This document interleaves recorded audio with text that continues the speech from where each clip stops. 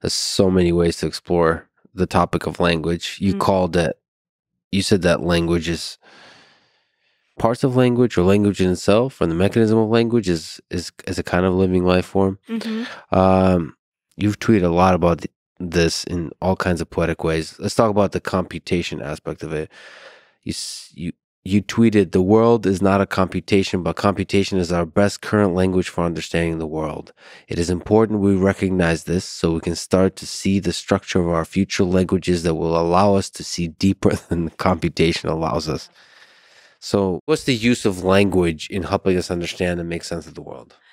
I think one thing that I feel like I I notice much much more viscerally than I feel like I hear other people describe is that the representations in our mind and the way that we use language are not the things like actually i mean this is an important point going back to to what Gödel did but also this idea of signs and symbols and and all kinds of ways of separating them. There's like the word right? And then there's like what the word means about the world. And we often confuse those things. And what i i feel very viscerally i almost sometimes think i have some kind of like synesthesia for language or something and i just Mhm. like don't interact with it like the way that other people do um, but for me, words are objects, and the objects are not the things that they describe. They have like a different ontology to them. Uh, like they're physical things, um, and they carry causation and they can create meaning, um, but they're not. They're not. They're not what we think they are, and and also like the internal representations in our mind, like the things I'm seeing about this room are probably, you know, like there's small projection of the things that are actually in this room. And I think we have such a difficult time moving past the way that we build representations in the mind and the way that we structure our language to realize that those are approximations to what's out there and they're fluid and we can play around with them and we can see deeper structure underneath them. That um, I think like we're missing a lot. Yeah, but also the life of the mind is in some ways richer than the physical reality. So Sure. what's going on in your mind might be a projection Right. actually here, but there's all, also all, all kinds of other stuff going on there. Yeah, for sure. I love this um, essay by Poincaré about like mathematical creativity, where he talks about this sort of like frothing of all these things, and then like somehow you build theorems on top of it and they become kind of concrete. But like, and I also think about this with language. It's like there's a lot of stuff happening in your mind, but you have to compress it in this few sets of words to try to convey it to someone. So it's it's a compactification of the space. Um, and it's not a very efficient one. Uh, and I think just recognizing that there's a lot that's happening behind language is really important. I think this is this is one of the the great things about the existential trauma of large language models. I think is the recognition that language is not the only thing required. Uh, like there's something underneath it, uh, not by everybody. Can you just speak to the feeling you have when you think about words? So is there like what's the magic of words to? Is it like do you feel it it almost sometimes feels like you're playing with it? Like yeah, I was just gonna say it's like a playground.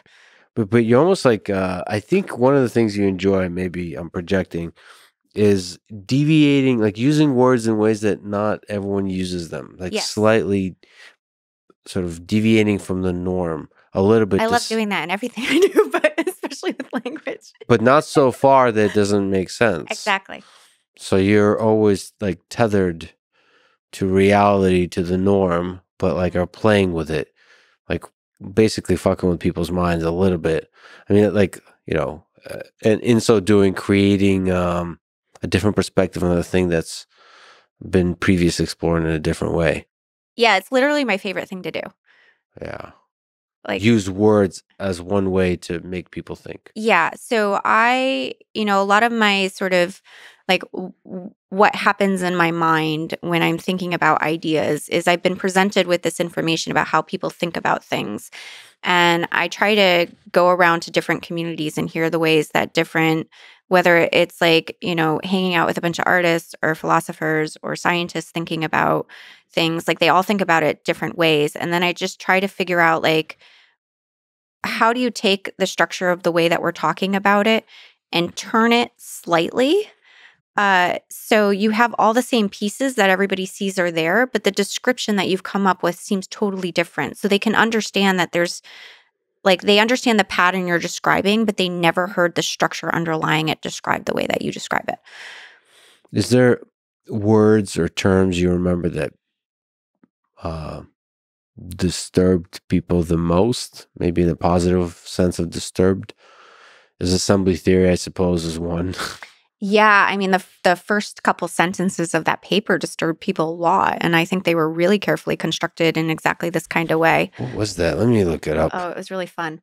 Um, but I think uh, it's interesting because I do, uh, you know, sometimes I'm very upfront about it. I say I'm going to use the same word in probably six different ways uh, in a lecture um, and I will. You write scientists have grappled with reconciling biological evolution with the immutable laws of the universe defined by physics. Yeah. These laws underpin life's origin, evolution, and, and the de- this with me when he was here too. the development the of human culture. Well, he yeah. was. I think your love for words runs deeper than these. Yeah, for sure. Um, I mean, this is part of the the sort of um, brilliant thing about our collaboration is um, uh, you know, complementary skill sets. So I love playing with the abstract space of language, and it's a really interesting uh, playground when I'm working with Lee because uh, he thinks at a much deeper level of abstraction than can be expressed by language, and the ideas we work on are hard to talk about